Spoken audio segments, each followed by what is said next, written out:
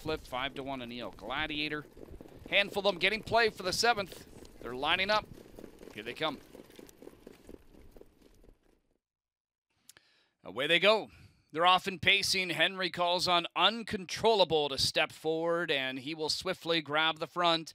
Jack Panic is going to work towards the pocket right now. There's Jitterbug Flip on the outside, looking for a seat third. Bugsy McGuire along the pylons fourth. Tucking into a seat fifth now is EL Gladiator, just ahead of Capitano Italiano, who's away sixth. Two more lengths to Life is Better. That one followed by Jake Lowe in the last pair. Don't Poke the Bear and Rose Run Vortex.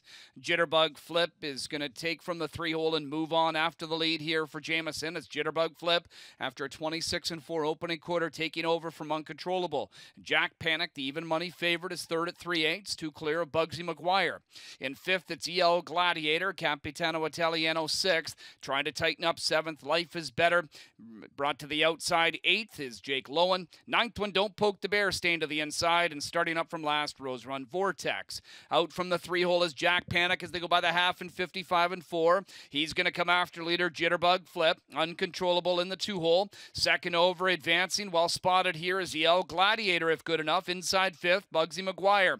Third over on the move, Capitano Italiano. Following him is Jake Lowen. To the inside, Life is Better than Rose Run Vortex. And Don't Poke the Bear. Five in, five out to three quarters with Jitterbug Flip. Still leading it by about a quarter of a length. Jack Panic on the outside, trying to go by. 125 and three to three quarters. And Jack Panic taking over the lead from Jitterbug Flip. EL Gladiator will try to close off that one's cover. Then it's Capitano Italiano. Italiano down the center of the track. Uncontrollable with a way through up the inside. And behind them is Bugsy McGuire. Jack Panic with a two length lead. Capitano Italiano, the only one that's got a shot. Jack Panic, Capitano Italiano. Jack Panic on the inside holds on. Capitano Italiano was second. Third to EL Gladiator. Bugsy McGuire fourth and 154 and three.